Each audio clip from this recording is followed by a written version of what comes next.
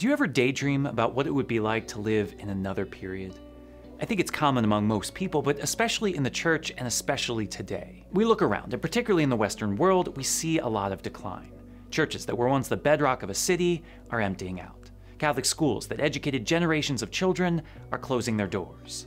There are scandals and anti church movements. Society as a whole seems to be unraveling and turning away from God. I listen to stories like this all the time from the friars. They remind me often of what we once did, how many we once were.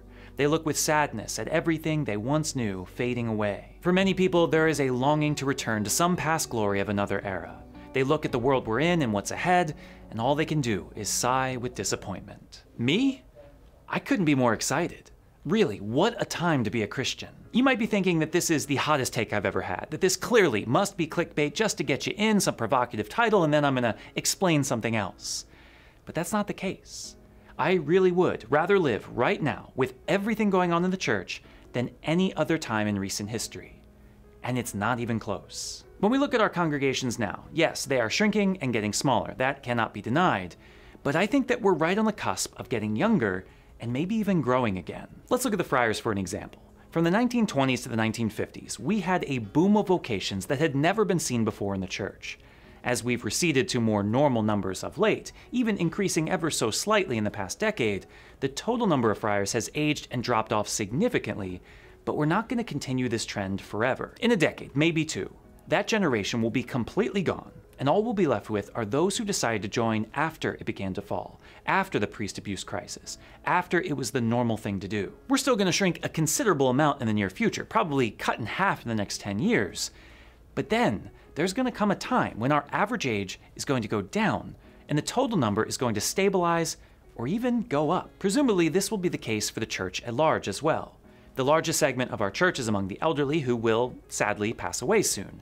When they go, the total number will drop, but so will the average age, making us younger, more active, and most notably, more committed than we have been in previous generations. When we look to that generation, that of the 1940s, we see peak Catholicism, packed churches, and huge collections. And there's definitely an appeal to that.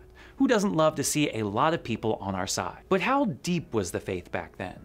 I don't mean to suggest that faith wasn't alive. We obviously had saints and heroic people, of course. But for the average parishioner, the regular person coming to Mass each week, how committed were they to the gospel? A lot of people came to Mass, yes. A lot of people made donations to the church. Many people may have kept the devotions and followed all the rules, creating a culture of Catholicism. But there is a big difference between adhering to the external expectations of a culture and living as a truly redeemed, fully committed disciple of Christ. How many people of that golden age of Catholicism went to Mass every week simply because that's what people did, because that's what the culture dictated? There were social pressures to be a part of it and fear of ridicule, even punishment for dissociating from the church. I'd like to suggest that it was not a non negligible part of the congregation that went to Mass simply to fulfill an obligation, and it continued for generations, even in some today.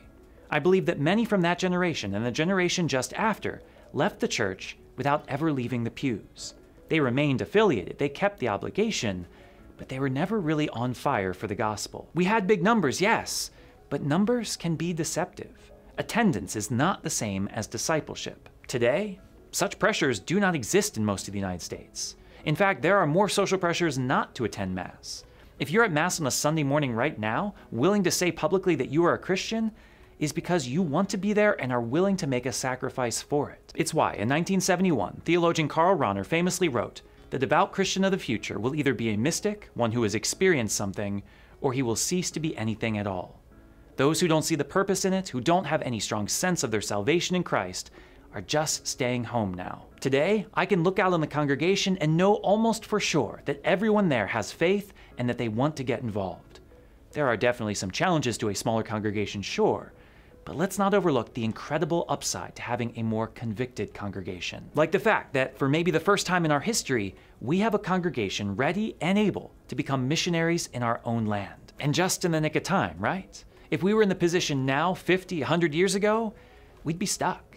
Evangelization was only really the talk of missionaries in foreign nations. The average person in America had nothing to do with it because what was the point? America was a Christian nation. Catholics were already huge in number who didn't know the gospel. Not only has the culture largely turned away from faith today, it has been long enough since the major exoduses of faith that we essentially get a chance to start over. We're at a point now where an entire generation of people didn't grow up with Christianity and know almost nothing about it. They don't have any faith, which is obviously unfortunate, but they also don't have the baggage that previous generations did either. They don't come with a negative experience with a nun, a fallout with a priest. They come with almost nothing at all. What an incredible opportunity we have today. Nearly every situation, every person we meet is a new occasion to share our faith, to help someone grow closer to Christ. No longer must one travel to a foreign land and learn another language to spread the faith. We can do it right now in our own backyards. Which, as you can imagine, is going to be pretty essential for the future. As previous generations fade away and the power of the church slips, it's going to take a change in mindset to stay alive. Being active in the church is no longer about maintaining what previous generations have built. It's about going on mission and rebuilding it from the ground up. When we look at our world and see how divided it is, we can no longer look away and say, not my problem. We have an obligation to be reconcilers, to be peacemakers, to shape a culture that no longer resembles the Christian faith that once founded it. Naturally, there is a bit of sadness that comes from losing so much of our past, and I don't mean to diminish that, but there's also something freeing about it as well. It's something I hear all the time from younger guys joining the Friars. They want to be pastors, not CEOs. They want to evangelize and catechize, not manage portfolios. It's about relationships, not real estate, evangelism, not eminence. If you ask me, all of this sounds really exciting. The parish may no longer be the hub of social and political life like it was 80 years ago, but do we really want it to be? Maybe it's a blessing that we don't have the resources to have our own softball league or bingo nights. Maybe it's freeing that the priest is no longer the legal authority in small towns. Those things made us popular and able to shape the culture, sure, but they also made us self reliant and content, happy to look around at our kingdoms with pride. Maybe having the walls fall down is exactly what we need to remind us that it is not our kingdom that we are building, that our home is not in this world, but that we are here to serve at the will of God. I remember the friars once discussing the bleak outlook they had for the future, how we'd have to give up ministries, how we couldn't do as much as we used to. There was a bit of despair in their voices. And then another friar spoke up with a heavy dose of sarcasm and said, Well, I guess if all our money and friars and ministry are gone, we'll just have to rely on God for once. The conversation ended there. If there is one thing that is apparent from our world today, it is that we can no longer rely on the power and influence of our past efforts. The church does not offer much control as a social institution any longer. All that's left is what we should have been looking to from the beginning as we grow smaller and as we grow weaker, there are many who will lament the past and long for an era of glory. But not me.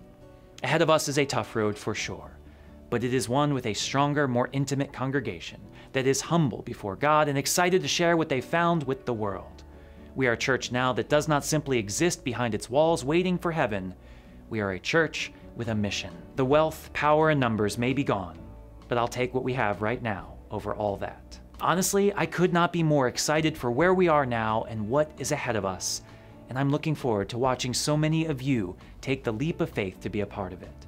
As a faithful mother or father, as a catechist, evangelist, liturgist, maybe even as a priest, a deacon, or religious. If there was ever a time to make a difference in the church, I tell you, it's now.